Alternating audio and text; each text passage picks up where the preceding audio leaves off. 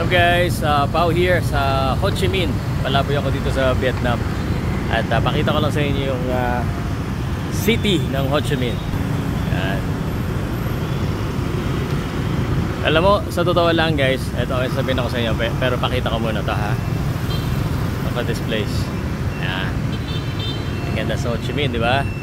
Ang problema lang, ang problema lang, I couldn't understand most of the yung mga sign. Although some are English, like uh, may KFC dito, pero hindi mo maintindihan eh, no? Tuloy ako.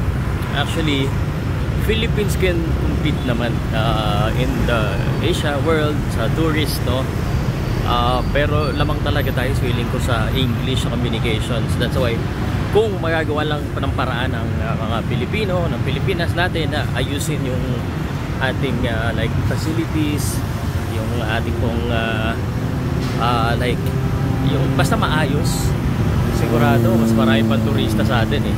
Yung uh, ba, to be straight honest with you ah habang naglalakad ako dito wala akong problema uh, kahit cellphone ang problema uh, na i-snatch yung walang magnanakaw walang manloloko yan ang problema. Actually dito naman sa Ho Chi Minh um, developing country din naman sila. So may mga tao rin sa paligid may konting basura din but uh, that's normal. General syempre galing ako sa Manila uh, walang problema sa akin. Um, yung Singapore that's different. But kasi ano na yun first world yun eh. Talagang sobrang linis doon uh, but yun isipin nyo guys kung tayo guys mga Filipino uh, eh you know, we, we are all smile. Uh, ano tayo, magaling tayo mag-service eh. 'Di ba? At actually, mas mababait talaga tayo pag pag uh, nag-ano tayo ng service eh. Pero, yun lang. May mabait, sobrang bait tapos biglang may magnanakaw sa labas.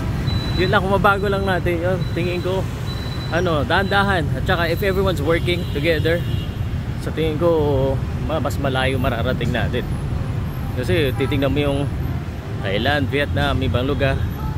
Dami rin nilang tourist eh. Minsan nga parang feeling ko mas marami pa silang tourist eh. Kasi kaliwat kanan eh. Diba? kaliwat kanan. Dati ang daming mga American sa sa Manila eh. Yan tsaka mga puti eh. Pero ito oh look at this. Diba kanto nila. Tapos yun oh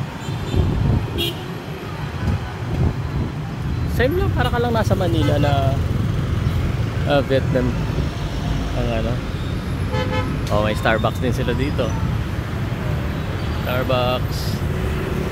Diba pero one thing na lamang ang Vietnam.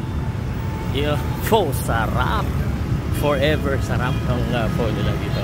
Anyway guys kontingan na lang pinakita ko lang sa inyo uh, sabihin nyo sa akin matagal pa ako dito kung may mga lugar ba ako na dapat puntahan para uh, alam mo na pakita ko sa inyo. Salamat guys